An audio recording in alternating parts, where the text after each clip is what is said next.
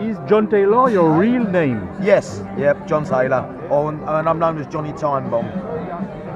Why Johnny Bond? I've got a group called Johnny and the Time Bombs, so they, they've nicknamed me Johnny Time Bomb. Time Bomb or Time, Bond? Time Bomb. Be it bomb, B O M B.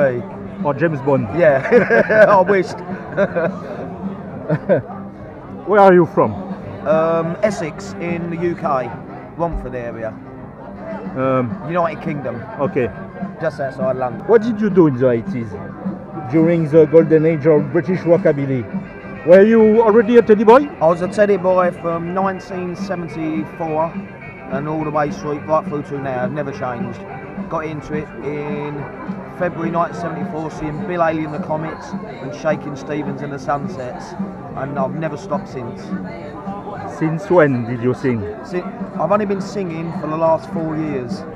I got into a, someone asked us to do a jam session, and then someone asked me to join a group, and it's just gone all over the place since then. What did you do before singing? A postman, Oh, postman. postman in the air in, uh, in Oh. central London. Um, where do you find your energy? I'd like to know myself. So as soon as the music starts, it just takes over. I don't know what I'm doing after time. I walk up and down, jump up and down. It's just the music. It's just the beat. It's, it's just- Okay, it's a fantastic. It is, it is. I can't believe it, yeah. I don't know I'm doing it after time.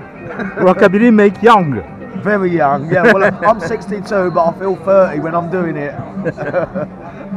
Oh yes. Uh, Okay, thank you for the interview. thank you very much indeed. All the best here. Good night. Thank you, good night.